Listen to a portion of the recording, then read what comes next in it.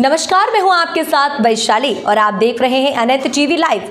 आइए बढ़ते हैं खबरों की ओर। छत्तीसगढ़ के राज्यपाल श्री रमेन डेका आज कालीबाड़ी वैशाली नगर भिलाई के दुर्गा पूजा उत्सव में शामिल हुए। राज्यपाल श्री डेका ने कालीबाड़ी में महाकाली मंदिर परिसर पर पंडाल में स्थापित दुर्गा प्रतिमा की पूजा अर्चना कर देश और प्रदेश की खुशहाली की कामना की। महामहिम श्री डेका लोकांगन में भी दुर्गा प्रतिमा की पूजा अर्चना की। इस अवसर पर प्रथम महिला श्रीमती रानी डेका, विधायक श्री रिकेश सेन, संभाग आयुक्त Shri S N Rathore, IG Shri R G Garg, collector Sushri Richa Prakash Chaudhary, SP Shri Jitendra Shukla और गणमान्य नागरिक उपस्थित थे।